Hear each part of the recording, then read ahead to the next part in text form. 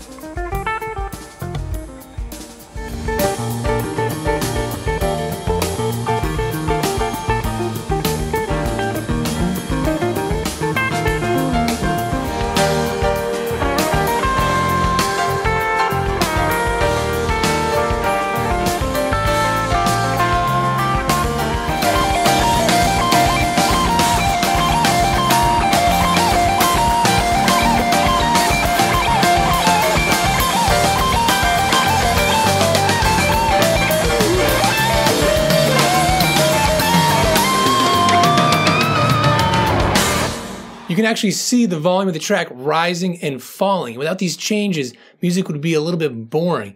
And keep in mind, it's not just Trey that's doing this, but the band works as a unit to create tight dynamic changes. And sometimes Fishman might do a big fill that's going to signal an abrupt change to the rest of the band. So let's check out an example that's kind of like Whitewater Rafter.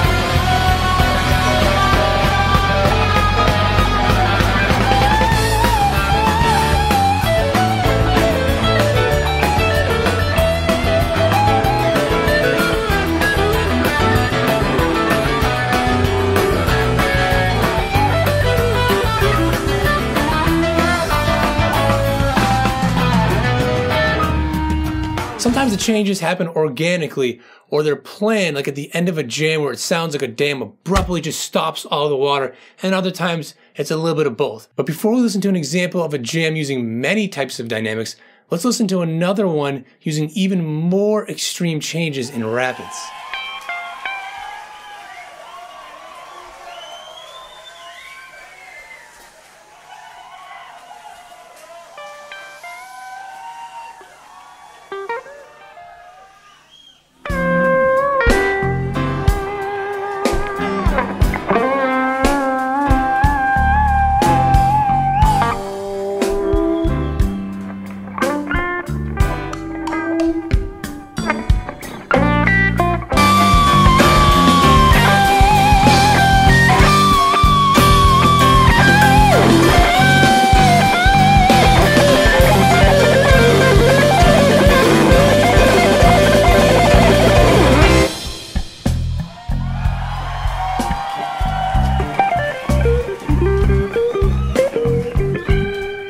Why does Trey bother using dynamics so much, and what would utilizing more of it in your own playing do for you?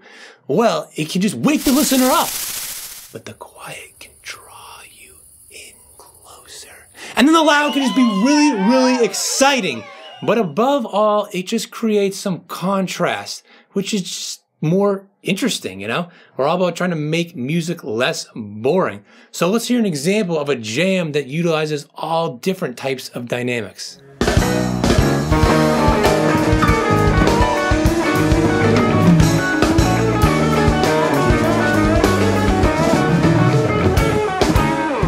Thank you, Mr. Miner.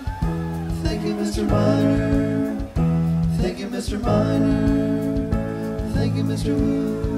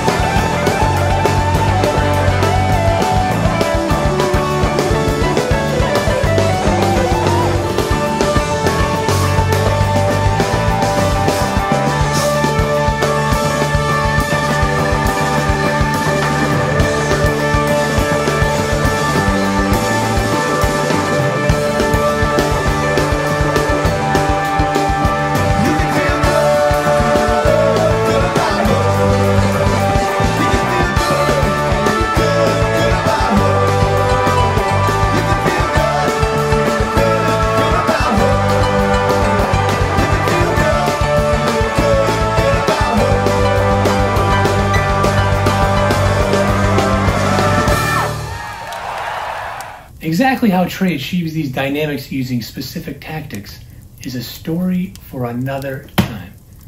But you want to know what? Adding dynamics to your playing is great and all, but there's so much more we can learn from Trey. So that's why you should check out this video here because I go over so much more of what any guitarist can learn from Trey.